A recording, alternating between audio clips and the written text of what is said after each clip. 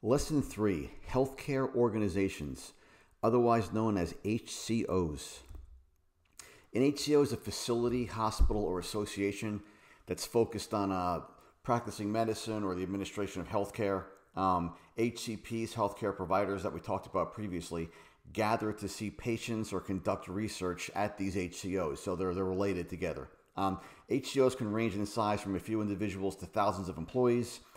The term HCO is kind of synonymous with an account, so a lot of times your pharma company will will call uh, the hospital or, or, or a, or a uh, facility an account because they are doing business with you by purchasing brands or having the HCPs that you have your uh, sales associates call on um, go to these accounts, these uh, these locations, and uh, make calls on the HCPs.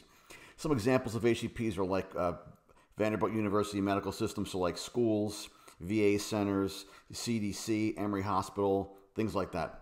Um, just one thing I want to point out also is that an HCP can have a private practice, so an HCP can, by default, be their own HCO. So, for example, Dr. Jane Smith is an HCP, a healthcare provider, but if she has Dr. Jane Smith private practice, her private practice is the HCO. Again, HCOs are places, structures, and associations, and HCPs are individuals.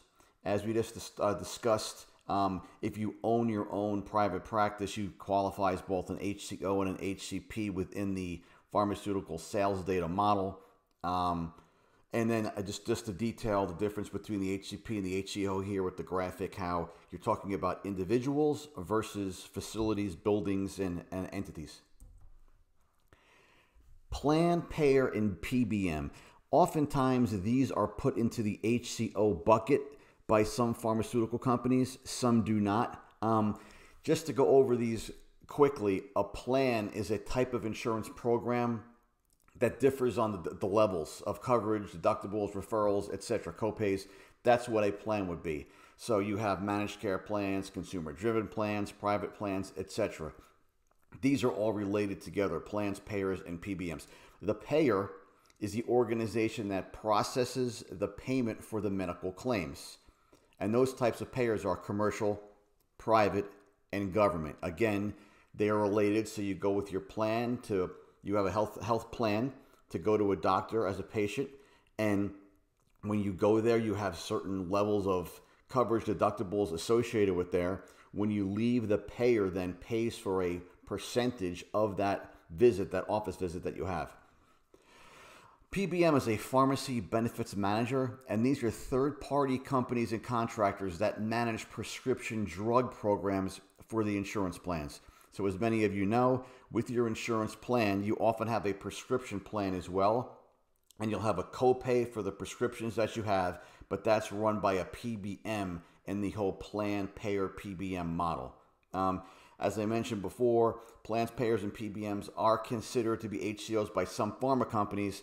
Sometimes they're separated out altogether. When we get into a chapter later on about pharmaceutical sales data master data, master data management, We'll talk about how HCPs, HCOs, and plan payers, PBMs can be unique entities all on their own. HCO classifications. Just like we had HCP classifications, we also have HCO classifications. And again, classifications are ways to group different things together. So in this uh, instance, we want to group the healthcare organizations by their class, sometimes called class of trade by some, uh, organizations, sometimes it's called classification.